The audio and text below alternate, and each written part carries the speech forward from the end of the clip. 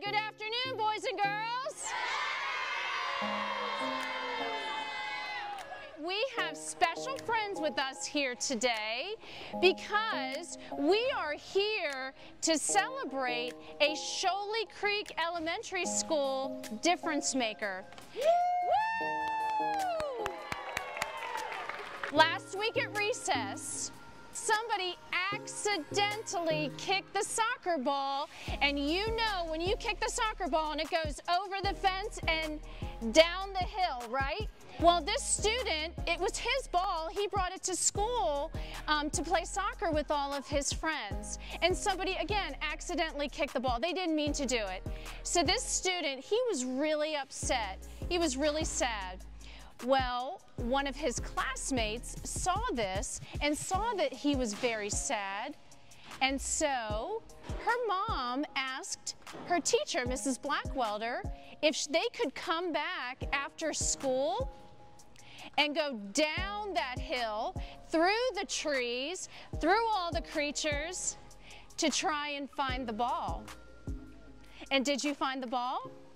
Yes. So this is why our D2 difference maker and our Shoally Creek difference maker is Elise Hernandez. Will you stand up?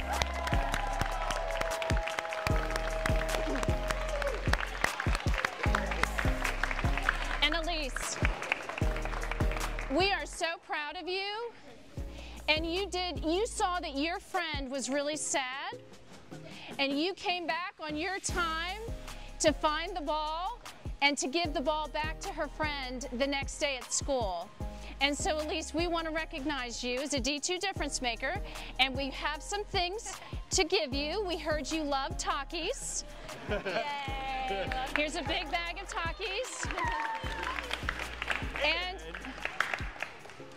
and Elise, we know not only did she get her friend's soccer ball, but Elise also loves to play soccer, and we can see that because she's wearing a soccer jersey today.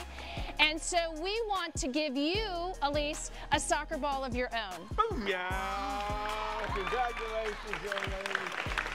So proud of you.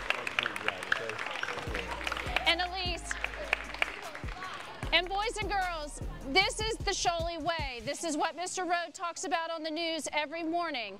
This is showing kindness to your friends, going that extra mile to make somebody happy. And so, Elise, that's why you are the D2 difference maker. Congratulations.